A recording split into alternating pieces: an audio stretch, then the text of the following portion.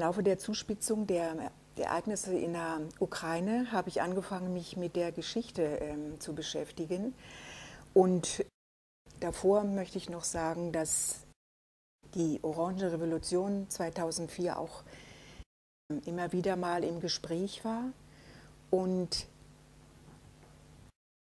innerhalb meiner, meiner Forschung bin ich auf eine Spur gekommen, die möglicherweise stimmen, sich bewahrheiten könnte oder eben ist alles Zufall. Und zwar geht es darum, dass im Auswärtigen Amt des äh, Kaiser, Deutschen Kaiserreiches zu Beginn des Ersten Weltkrieges ähm, nach einem Konzept oder Konzepten gesucht wurde, wie man den Kriegsgegner äh, Russland schwächen könnte. Um nach einem gewonnenen Krieg die deutsche Hegemonie über die Territorien des damaligen Zarenreiches zu sichern. Wie der Teufel es wollte, gab es Mitarbeiter in diesem Auswärtigen Amt, die ähm, ihre Ideen eingebracht haben. Das handelt sich um ähm, Paul Rohrbach, einen Baltendeutschen, der im Zarenreich geboren war der ein Verfechter einer Gründung einer Ukraine als eigenständigen Staat oder ähm, über eine bestehende ukrainische Nationalbewegung ähm, äh, war.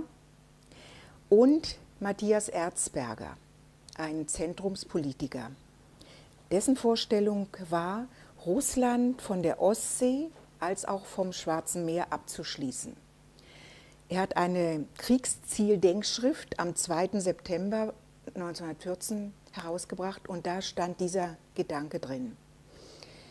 Die Mittel dazu sollten sein, das zitiere ich jetzt, die Befreiung der nichtrussischen Völkerschaften im Zarenreich vom Joch des Moskowitertums und Schaffung von Selbstverwaltung im Innern des, der einzelnen Völkerschaften. Damals nannte man das Dekompositionstheorie, da komme ich nachher noch drauf zurück. Alles dies, Zitat, alles dies unter militärischer Oberhoheit Deutschlands, vielleicht auch mit Zollunion.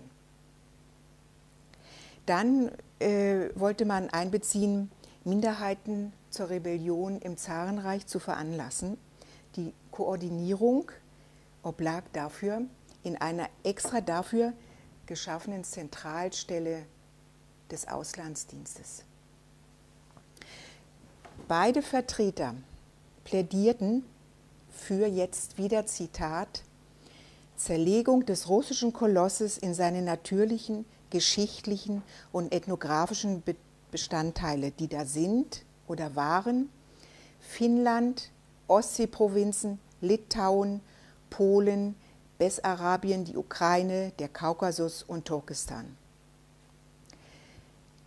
Die Vorstellung davon veranschaulichte das Bild in Vorträgen, die Matthias Erzberger gehalten hat, Zitat, dass sich Russland auseinandernehmen lässt wie eine Apfelsine und dass dabei bei gehöriger Vorsicht durch keinen Riss und keine Wunde ein Tropfen Saft zu fließen braucht. Zitat Ende.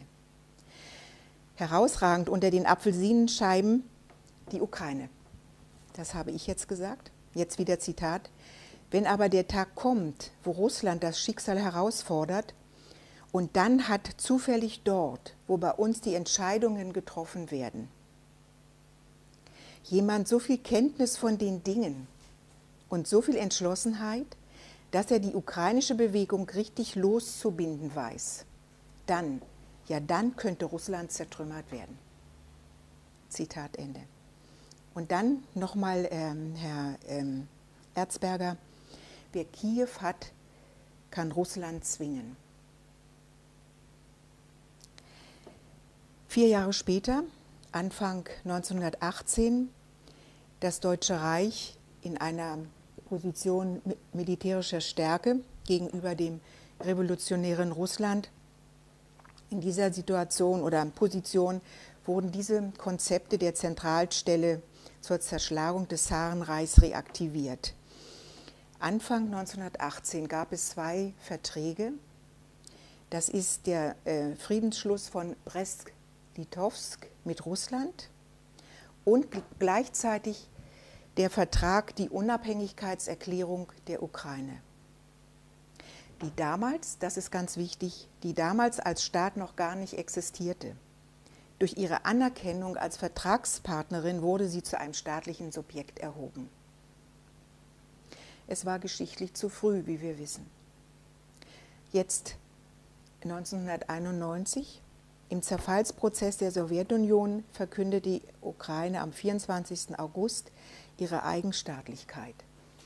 Als eine der ersten Regierungen erkannte die Bundesrepublik Deutschland sie in aller Form an. 2014 und 100 Jahre zurück von der Apfelsine zur Orange.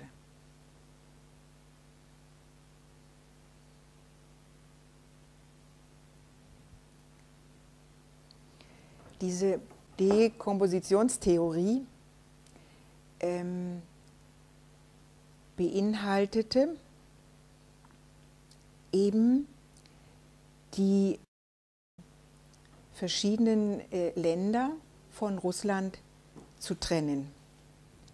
Und in dem Vertrag äh, das Deutsche Reich Russland musste Russland äh, Völker abgeben, und das sind Livland, Kurland, Litauen, Estland und Polen.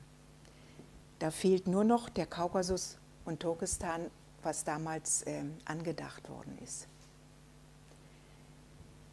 Ich möchte das gerne auf einer Landkarte zeigen, was das bedeutet. Und wir können uns äh, in Gedanken vorstellen, in welcher Größenordnung, an welchen Stellen Russland heute mit amerikanischen Basen umstellt ist. Ja?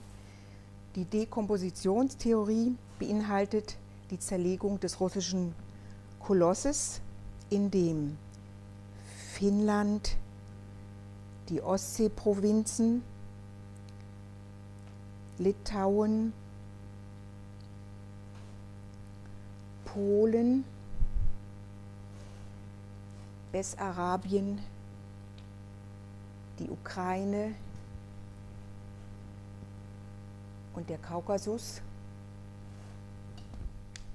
und Turkmenistan abgespalten werden. Das war die Idee 1914. 1918 im Frühjahr sind im Friedensvertrag von Brest-Litovsk zwischen dem Deutschen Reich und Russland, Finnland, die Ostseeprovinzen, Litauen, Polen abgespalten worden und gleichzeitig mit der Ukraine ein Unabhängigkeitsvertrag geschlossen worden. Diese beiden nicht, die haben noch gefehlt. Sehr.